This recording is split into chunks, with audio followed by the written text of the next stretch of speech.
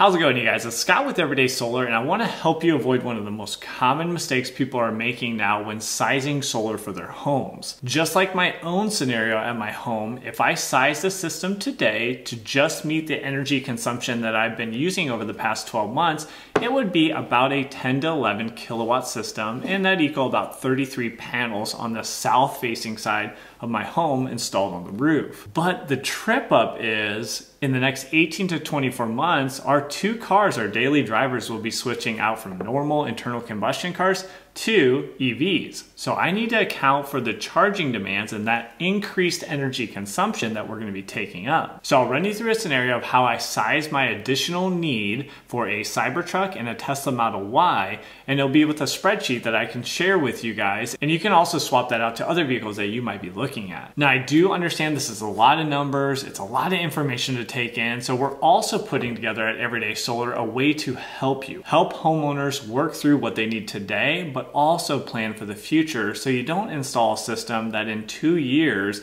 is going to be well under what you need and all of a sudden now you have an electricity bill because you're not meeting your demands. If you're interested in that, you'll see a link right below this video in the description. It'll send you over to a website where you'll just fill in a little bit of information and then we'll reach out to you guys for a one-on-one -on -one call to make sure we're designing the system again for today but also just as importantly for tomorrow. So these systems that are gonna last 20 to 25 years are meeting your energy consumption needs. So let's jump into it and most likely you're gonna be pretty surprised how much this actually increases your need for your system. I have this big boy showing up here in about 12 to 18 months. So I ordered a Cybertruck about three years ago and this is gonna be my work truck and my daily driver. So I need to compensate how much energy to charge this thing on a daily basis in addition, we will most likely switch out our other family car for a Model Y. So if I only size it to current needs, I would be way off. So this is something we need to take into account. So what I did is I put together this little spreadsheet and it basically allows you to select your car. So I have a Model Y selected and a Tesla Cybertruck selected. You could select another car if you wanted another Nissan Leaf or something in your fleet. This is something that you can actually adjust to your own needs and you can kind of play around with it. I'll give you a link here at the end so you can download it and, and, you can play around with it on your side and get sizing for you. Now, what I did is I have a list of EVs. I also listed out my source. This is just an estimate. This is not exact science. You can change these numbers, but basically what these are is how many kilowatt hours, right? How many kilowatt hours are we going to consume for every mile driven for these different models of cars.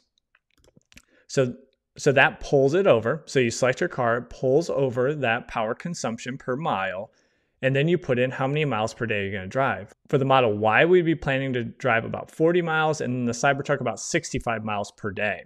So that gives us a daily consumption of kilowatt hours of 11 for the Model Y and 26 for the Cybertruck.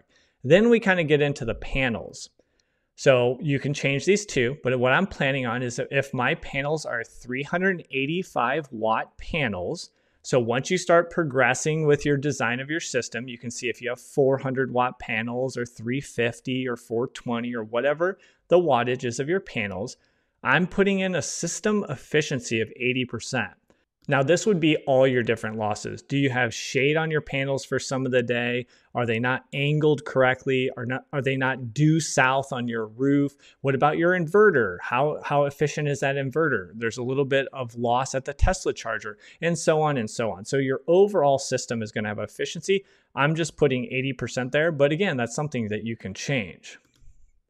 And then sun hours. Now, depending on where you're at in the country, it could be as good as six hours if you're all the way out in Arizona or Southern California. In my area, when I look at this map, if I scroll down, I'm kind of right in the middle of this 4.2 to 4.5. So that's why I'm using 4.3 for my home and how many sun hours I'm going to have those sun hours are multiplied by your solar panel 385, 385 watts or 0.38 kilowatts.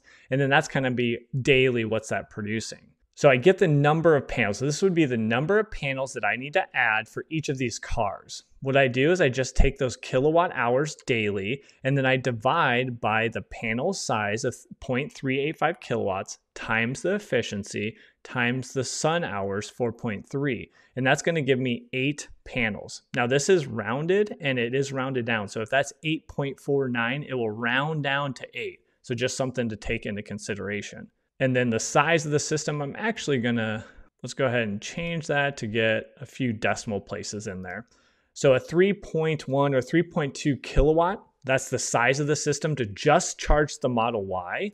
And then for the Cybertruck, I need about 7.5 kilowatts just for the Cybertruck. So bring those together and we're looking at about 11 kilowatts. Now the question is, do you remember with the size of my system. My original system was only 11 kilowatts. So you now see the massive difference that this can create. If I just went by my consumption needs, I got those two electric cars. Now I'd have an 11 kilowatt system, but that would just be meeting my house needs. And I would need double that to also charge my cars to completely offset my electrical consumption from the grid. Now, the other thing to keep in mind is I am in Illinois where we do have net metering. So I can provide that surplus of power during the day times and get credits from my utility. And then at night, when I'm not producing any solar panels and I do not have battery storage at my house, well, I can use those credits to actually charge my truck. So just something to keep in mind because not all states and not all utilities provide that, or sometimes they only provide a conversion. So every one unit you put in, maybe you're only getting 0.7 back out. So something to keep in mind. So hopefully that helped you guys out and let me know if you have any questions down in the comments. Also below the video, you'll see the link if you need some help working through your system design and ensure you're getting that right system for your needs now, but also in the future. And then also we can connect you with a trusted network of nationwide installers. If you just want that spreadsheet to kind of mess around with the EVs, how many miles, and fit that to your household, that link is also below the video in the description. Now, if you're trying to understand, do solar panels actually increase the value of your home? Well, check out this video right here. We'll jump into it and you might be a little surprised on my answers. So thanks for joining me on this video and we'll catch you on that next one. Take care.